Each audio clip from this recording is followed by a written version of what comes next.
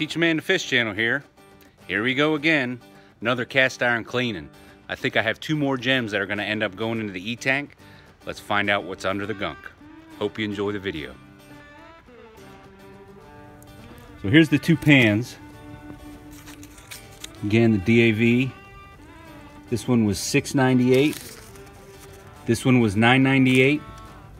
Uh, definitely older pans. This one does not have the made in the USA mark on it. Uh, it's got a, it's a number five. And I'm gonna do some more research on the marks on this. But I would say this is, again, it's definitely a pre-1960 uh, three notch Lodge. And we'll get more information to see if we can get a tighter date on that. And here we have an unmarked, or at least I can't see a mark at this point. I was able to scrape off and see a number eight on the handle there. Uh, it's gated, which could make it late or early 1900s or late 1800s. Um, we'll see if we can get more information about this one and its design. So let's go. Into the E-tank it goes. All right, here we go. The big reveal.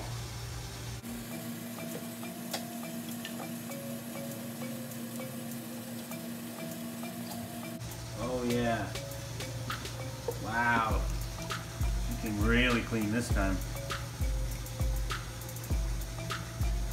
That's the number eight gated. Take a look at this number five. I think that's what it was, the number five. It's looking just as clean. So these were in for three days.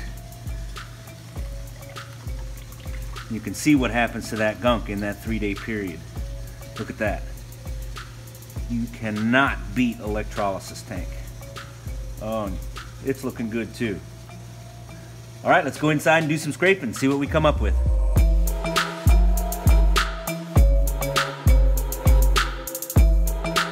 Here we go. This is uh, not my most interesting one, but it's the one we're gonna do first. It's the Lodge, what I think is a Lodge three notch. Do the reveal, the big reveal.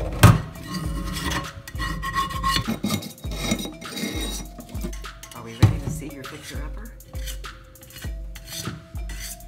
Look at this. Just flaking right off. I love that E-tank.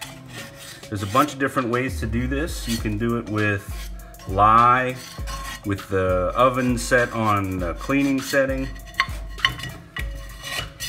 Get a little bit of staining there. But that'll be fine once we do the seasoning.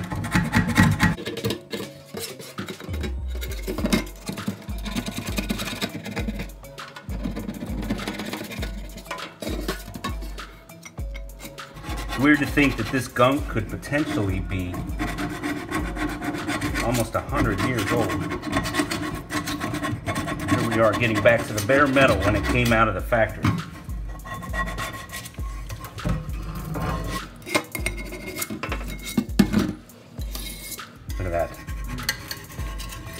Just comes right off.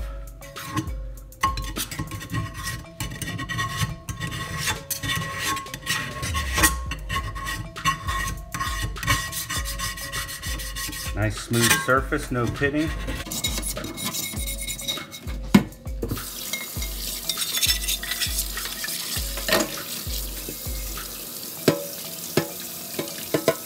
What we can see here is the number five, raised letter B, looks like a Roman numeral two, uh, and then the three notch.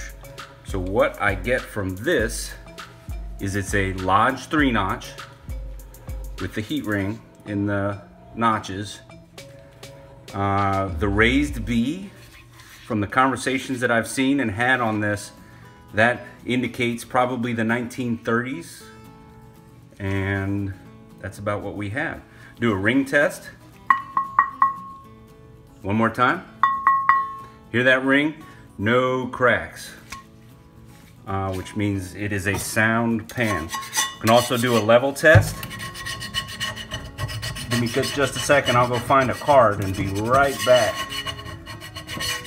So we can look at level. do a quick warping test. Oh, there's a little bit of warping in this. So you use a card like this and look for any light shining between the pan and the card. And this has a little bit of warping right in this area, mm, but without the card and during your cook, you would never notice it. And it certainly, when you let when you place it on a flat surface, it doesn't dance. That wear ring is flat, so uh, you can't spin it like a ballerina. That's what they call that. So, a little bit of warping in the middle, but it's going to be a good user for sure. And interesting history behind it. So, nice find. Five bucks. This is the one I'm more excited about. This most certainly is the older of the two pans and this could be pushing uh, pre 1900s, so late 1800s. It, some sometime in the 1800s, this was probably cast. And that gunk's coming right off, of course, and this was actually the heavier gunked up pan. And you can see it's got a little bit of that alligator back going there.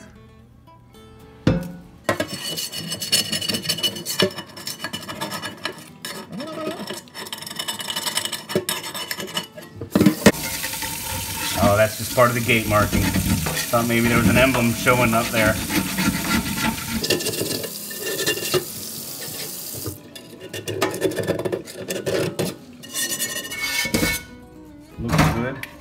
Focus on the inside now.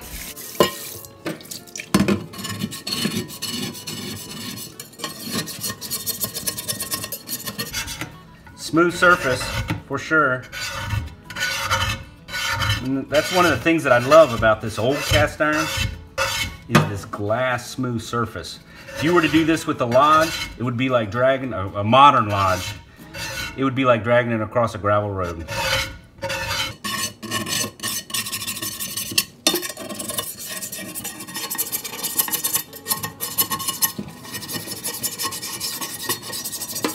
Here's the two pans all cleaned up. I've got a coat of oil on them to stop the rusting. There's the gated. Uh, on this gated unmarked pan, you can see right there in the middle, there's a little bit of warping in through this area. Uh, doesn't bother me at all. Uh, you, I don't know if you can quite see. Yeah, there you go. You can see the the gap that that is going on um, when you do the card check on it. There's the the gap. You can see the light coming underneath. So a little bit of warping on this right there in the center, maybe where the pan get, got a little thicker through the, the casting there.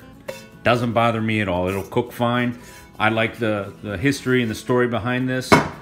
It's flat. It's got a, a slight little bit of wobble this way. It'll cook fine. Dead level on this side. Doesn't dance. So I like it. On the Lodge 3 notch, it's flat all the way around. Definitely doesn't dance. And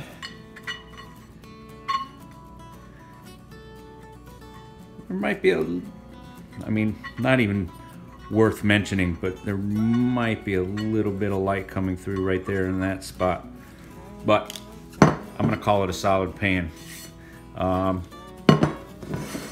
there you go. So that's the raw steel, light coating of oil on it. It's ready to go into the seasoning process. We'll come back real quick and I'll, I'll show you these after a couple of coats of seasoning. Maybe even do a cook in it. Another quick tip for you. When you're oiling up, this is one of my older Wagner wares here. Use a coffee filter to spread your oil around and it doesn't leave that uh, those fibers from a paper towel or even a dish towel because the coffee filter doesn't break down.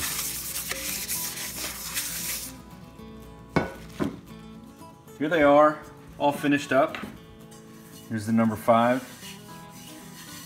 These are gonna be awesome cookers. Nice smooth finish, old school. There you go. Lodge, three notch. Here's the really old one. Number eight, unmarked. Smooth surface, couple of nicks. Don't know if you can see those in. There